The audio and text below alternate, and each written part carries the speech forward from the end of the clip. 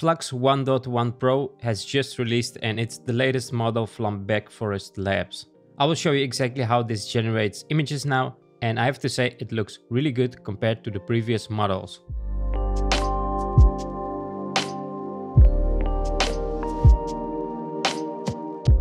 Let's first go to the website and before I show you how it generates images, let's go here and see what they say about it. So what they say about this is it's the most advanced and efficient model yet. Now to really see this, we have to try it out of course, but before I show you, let's also look at the ELO score here. You can see here Flux 1.1 Pro is at number one here.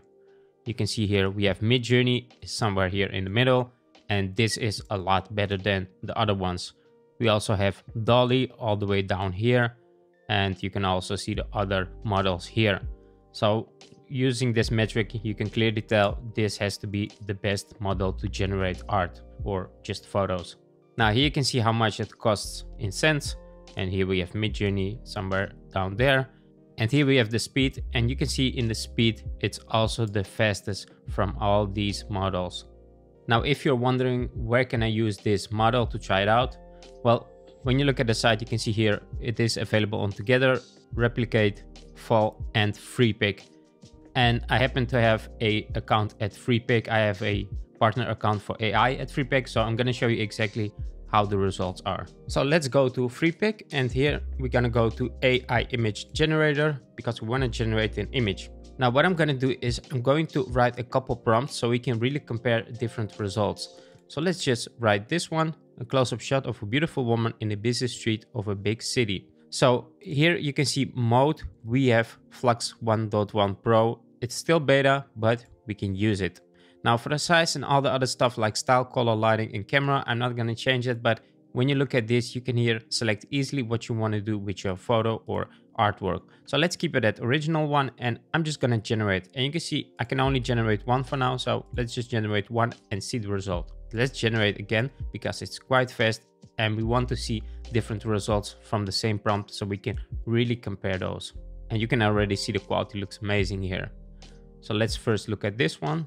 You can see here, it looks great.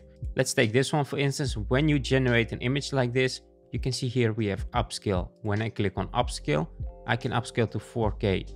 So I want to go with none because when you use imagination, you cannot upscale to 4K, only 2K. So I'm gonna leave imagination at none and then I can use 4K because I wanna make this image bigger. Let's click on upscale and let's just wait till this is upscaled and so we can see how great this looks when it's even upscaled. And look at that it's already done. Now you can see before we had this now we have this. You can see how amazing the results are. And when you click here you can download this in these pixel sizes. So this is pretty big. Let's see when I open up this image and then let's zoom in here so we can really see the quality. And look at that it looks amazing.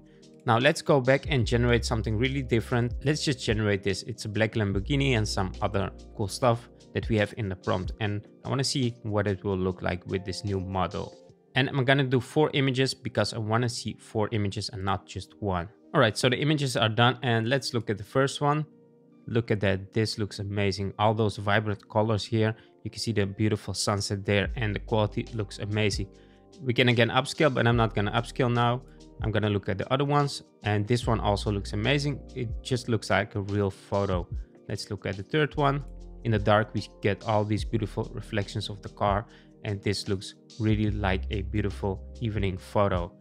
And the last one is more like in the daylight. You can see a beautiful depth of field there. If you want to upscale your AI art images up to 32K, check out this video where I show my favorite tool to upscale these images. This can also be just photos if you like. So thanks for watching this video and catch you on the next one.